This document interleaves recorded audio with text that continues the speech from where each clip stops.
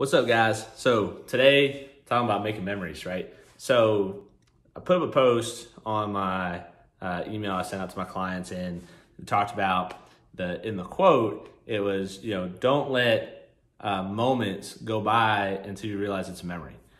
And what it kind of means was like you know live in the now, but appreciate what you're experiencing in front of you, right? So a great example. The reason why I picked this quote was because over the weekend I was doing a home project and my little guy, who's three, was running around asking, "What you doing, Daddy? Can I help you, Daddy? Can I hold this?" And he's wearing his Superman cape as he's running around the house.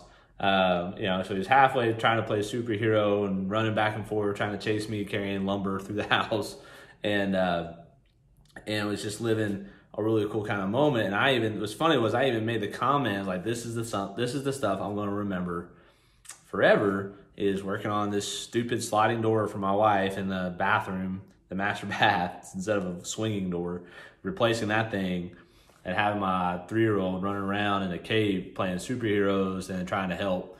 Uh, you know, at three, you can't really do much other than hold a piece of wood from falling over. But, um, you know, just that fact that he wanted to be around and be involved and, and be a part of what I was doing, you know, really kind of you know hit home with me, then it makes me look forward to what I have coming up. But in the back of my mind, I made a mental note to just you know log this one away as something that you know I don't want to ever go away. And you know obviously down the road when he turns to be a teenager, I highly doubt he'll be as enthusiastic to help me with projects around the house like that. But you know at this age, you know he just wants to be around me, he wants to have fun, and um, you know as like I've said in one of my other videos, like getting off the freaking cell phones. Um, you know just do do something with your kid and make a memory and but when you do it, appreciate for what you have. You know, there's so many horrible stories.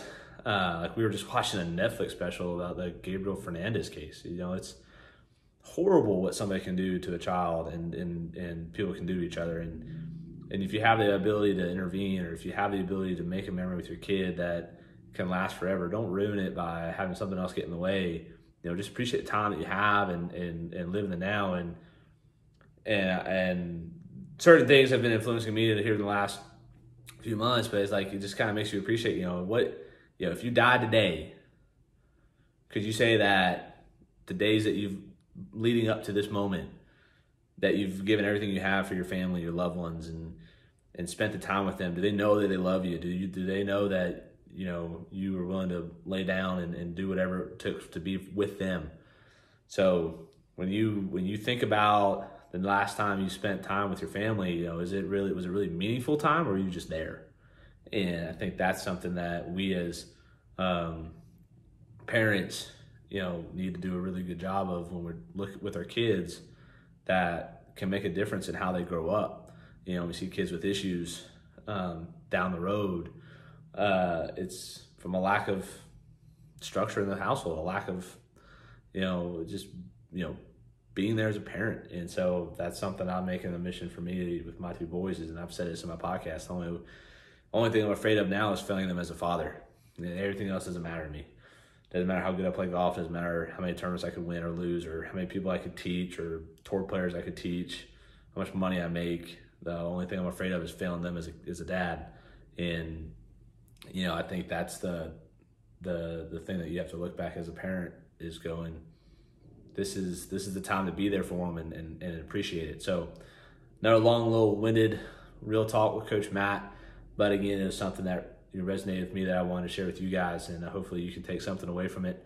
And I look forward to talking with you guys again soon. And if you enjoy it, please subscribe to the podcast and the show. Junior Golf Blueprints, my podcast. Find me on subscribing to the YouTube channel here. Keep getting great nuggets, and appreciate all your support so far. And let me know what you want to hear.